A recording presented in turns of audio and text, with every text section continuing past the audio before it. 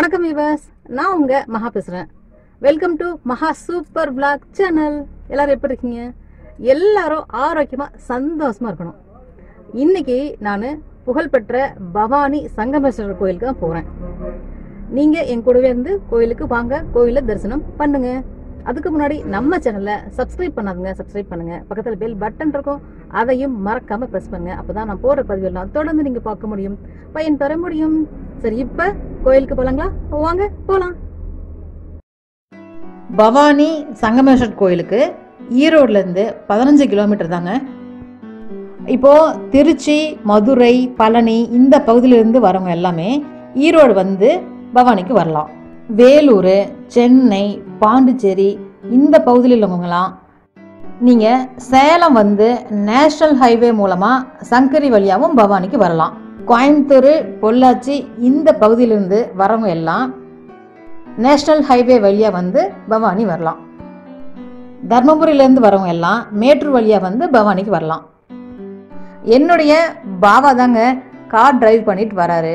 நான் அப்படியே வீடியோ எடுத்துகிட்டே வரேன். இப்போ நம்ம இந்த பவானி ஆத்து பாலத்து மேலே போயிட்டே இருக்கிறோம்.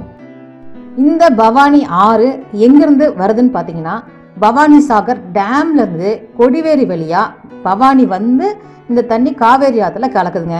இது வந்து வற்றாத ஜீவநதின்னு சொல்லலாம். அந்த அளவுக்கு தண்ணி இருந்துகிட்டே இருக்கும். இப்போ ஃபஸ்ட்டு ஃபஸ்ட்டு நம்மளை வரவேற்கிறது எதுன்னு பார்த்தீங்கன்னா பவானி ஜமக்கால நகரம் தாங்க இங்கே ஜமக்காலம் ரொம்ப ரொம்ப ஃபேமஸ்ங்க இப்போ நம்ம கோயில் பக்கமாக வந்துட்டோங்க. பாருங்க கூடுதுறைன்ற போர்டு போட்டிருக்கு. இது பக்கமாக வந்துட்டோம் நம்ம கோயிலுக்கு. பாருங்க கோபுரம் கூட தெரியுது பாருங்க. அந்த வழியாக தான் நம்ம போயிட்டு இருக்கிறோம் நேராக பாருங்க கோபுரம் தெரியுது.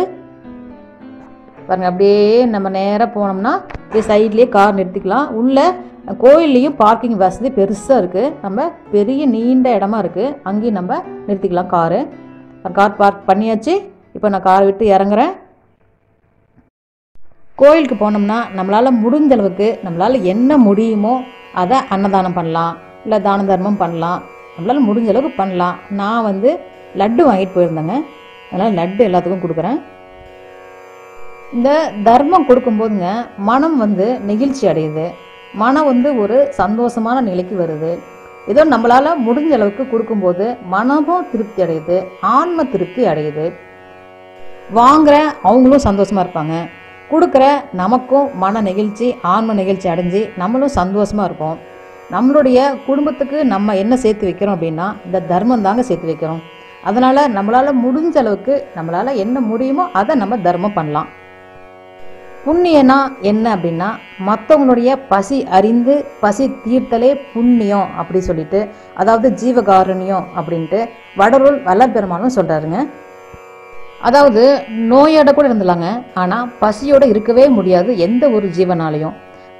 அதனால் அந்த ஜீவனுடைய பசியை அறிந்து அந்த பசியை தீர்த்தலே நம்மளுடைய தலையாய கடமையாக நம்ம வச்சுக்கணும். அதுவே நம்மளுடைய வழிபாடாகவும் வச்சுக்கணும். அதுதான் நம்மளுடைய உண்மையான தெய்வ வழிபாடு. சரி இப்போ நம்ம கோயிலுக்குள்ளே போகலாம் இப்போ இந்த ராஜகோபுர வழியாக நம்ம உள்ளே போகிறோங்க இந்த கதவுகள் பாருங்க எவ்வளோ பிரம்மாண்டமா நம்மள வரவேக்குதுன்ட்டு இந்த வாயில் கதவு பார்த்தீங்கன்னா பிரம்மாண்டமா உயரமா இருக்குங்க. அழகிய வேலைப்பாடோடு இருக்கு. பார்க்க ரம்யமா இருக்குங்க. கோயில் நுழைவாயில்ல. ஏகப்பட்ட நுணுக்கமான அழகான வேலைப்பாடுகள்லாம் பண்ணியிருக்காங்க. பாருங்க எவ்வளோ அழகா இருக்குன்ட்டு. இந்த கோபுரத்தில் உள்ள வேலைப்பாடுகள்லாம் பார்க்க பார்க்க பார்த்துட்டே இருக்கலாமான்னு இருக்குங்க. இதை விட்டு போக மனசே இல்லை. அந்த அளவு நுணுக்கமா அழகா இருக்கு. இது பாருங்களேன் எவ்வளோ அழகா இருக்குன்ட்டு. நீங்கள் வந்தீங்கன்னா இது ஒவ்வொன்றும் ஒவ்வொன்றும் ரசிச்சு பாருங்க. இந்த பெண் சிற்பம் பாருங்களேன் எவ்வளோ அழகா செதுக்கியிருக்காங்கன்ட்டு. கோபுர தரிசனம் கோடி புண்ணியன்னு சொல்லுவாங்க. கலைஞர்களுடைய கலை நுணுக்கம் இதில் தெரியுது. இந்த கோபுரம் மேலே இருக்கிற ஒவ்வொரு சிலையும் பார்த்தீங்கன்னா புராண கதையை சொல்லுதுங்க. இப்போ நம்ம கோயிலுக்கு உள்ளே வந்தோடனே முதல்ல இருக்கிறது என்னன்னு பார்த்தீங்கன்னா பெருமாள் கோயிலுங்க. இதோ இங்கே கொடி மரம் இருக்கு. மண்டபத்து மேலே சாமியோட சிலைகள் எல்லாமே இருக்கு. இங்கே சமயக்குறவர்கள் நடராஜர் கருடாழ்வார் மச்ச அவதாரம் கூர்ம அவதாரம் கஜலட்சுமி இது மாதிரி எல்லா சிலைகளும் வடிவமைச்சிருக்காங்க. இப்போ கோயிலுக்குள்ள அருள்மிகு ஆதிகேசவ பெருமாள் சன்னதி இருக்குங்க. அடுத்து ஸ்ரீ லக்ஷ்மி நரசிம்ம சுவாமி சன்னதி இங்கே இருக்குங்க. அதற்கு அடுத்து பார்த்தீங்கன்னா சவுந்தரவல்லி தாயார் சன்னதி இருக்குது கோயிலுடைய முன் மண்டபம் வேலைப்பாடுகள்லாம் பாருங்கள் அழகாக சூப்பராக இருக்குங்க. கலைநயமிக்க ஓவியமெல்லாம் அழகழகாக இருக்குது பார்க்குறதுக்கு சூப்பராக இருக்குங்க.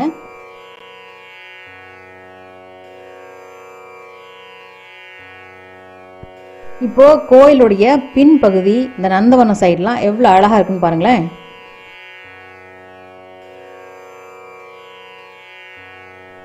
இங்க பாருங்க வெள்ளி தேர் இருக்குங்க. வெள்ளி தேர் இதுக்குள்ள தான் இருக்கு. பிரதி தமிழ் மாதம் ஒன்னாம் தேதி வெள்ளி தேர் உலா நடைபெறும்.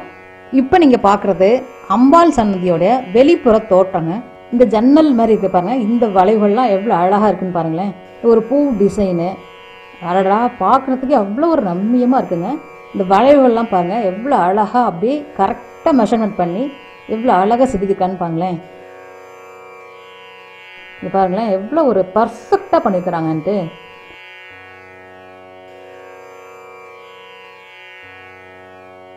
அப்படியே இங்கே பார்த்தீங்க அப்படின்னா கல்வெட்டு இருக்குங்க. இந்த கல்வெட்டில் நாட்டிய கலைஞர்கள் எல்லாம் கோலாட்டம் ஆடுறாங்க. அவ்வளோ அழகாக அதை செதுக்கியிருக்காங்க பாருங்களேன்.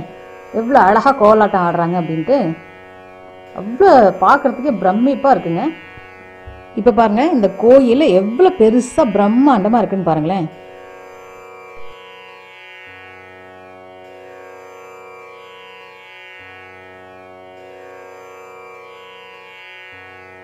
இப்போ வேதநாயகி அம்மன் சன்னதி முன்னாடி இருக்கிறோம்.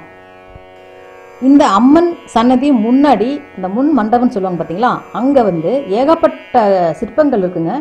பாருங்க மேல் கூரையில் அவ்வளோ சிற்பங்கள் இருக்குது ஒவ்வொரு சிற்பமும் அப்படி கலைநயம் மிக்கதாக இருக்குது இங்கே பாருங்களேன் எவ்வளோ ஒரு அழகாக இருக்குது சொல்ல வார்த்தைகளே இல்லைங்க. அவ்வளோ அழகாக செதுக்கியிருக்காங்க.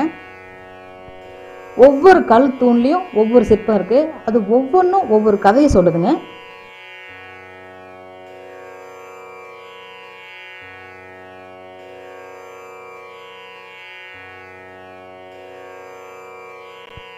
அம்மன் சன்னதி பக்கத்துல பெரிய வில்வ மரம் இருக்குங்க. அதுல ஏகப்பட்ட வில்வ காய்கள் அப்படியே காய்த்து தொங்குது. பார்க்கவே பிரம்மாண்டமா இருக்கு. அவ்வளோ அழகா இருக்கு. சூப்பரா இருக்கு. வில்வ மரத்துக்கு கீழே சிவலிங்கம் அமைச்சிருக்காங்க. அடுத்து நாம சங்கமேஸ்வர் சன்னதி முன்னாடி நிக்கிறோம். சங்கமேஸ்வர் சன்னதி பின்புறம் பார்த்தீங்கன்னா அழகிய நந்தவனம். அதுவும் பச்சை பசேர்னு ரம்யமா இருக்குங்க. இப்போ நீங்க பார்க்குறது இந்த கோயிலுடைய ஸ்தல விருஷங்க. இந்த விருஷத்துல குழந்தை பாக்கியம் வேண்டி அழகிய தொட்டில்கள் கட்டி வச்சுக்கிறாங்க. இந்த கோயிலுடைய ஸ்தல விருட்சம் இளந்தை மரம். இந்த இளந்த மரத்துல காய்க்கிற இளந்த காயை சாப்பிட்டா குழந்தை பாக்கியம் கிடைக்கும் அப்படின்றது நம்பிக்கை. இந்த கோயிலுடைய முன் பகுதியில் நிறைய செடிகள் மரங்கள் எல்லாம் இருக்கு.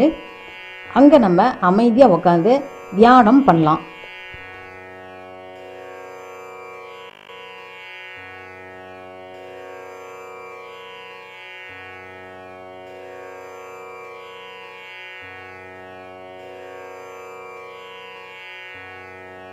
இந்த இடத்துல கோயிலுடைய அன்னதான கூடம் இருக்கு. இந்த கோயில்ல பிரசாத ஸ்டால் இருக்கு புக் ஸ்டால் இருக்குங்க. நமக்கு வேண்டிய ஆன்மீக புத்தகங்களை நம்ம வாங்கிக்கலாம் பயன்பெறலாம். வேதநாயகி அம்மன் சங்கமேஸ்வரர் தரிசனம் முடிஞ்சதுங்க. இப்போ இந்த ராஜகோபுரம் வழியாக ராஜகோபுரத்தை தரிசனம் பண்ணிட்டே நம்ம வெளியே போகலாம் கோயிலுக்கு வெளியே ரெண்டு பக்கமும் கடைகள் இருக்குங்க. பூஜை சாமான்கள் கடை. இந்த கடைகள் எல்லாம் பூஜைக்கு தேவையான பொருட்கள் எல்லாமே இருக்குது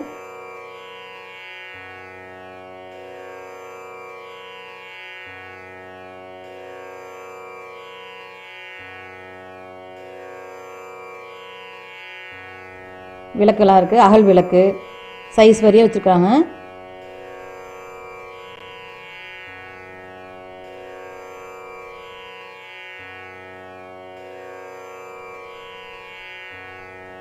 நல்லா கலர்ஃபுல்லாக அழகழகாக இருக்குது கார்ட்டூன்ஸ் பொம்மையெல்லாம் இருக்குது இங்கே பார்த்தீங்கன்னா இந்த பாருங்களேன் இந்த மாட்டோட வால் மட்டும் ஆடுற மாதிரி ஒரு பொம்மையெல்லாம் வந்திருக்கு. இது அழகாக இந்த மாட்டோட வால் மட்டும் ஆடுது.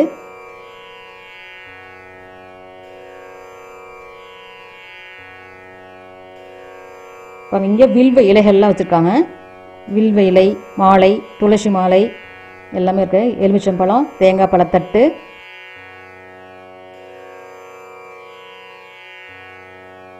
இந்த கோயில் ஆற்றுல பரிகாரம் அதிகமாக பண்ணுவாங்க. இந்த பரிகாரத்துக்கு தேவையான பொருட்கள் எல்லாம் இங்கே விற்கிதுங்க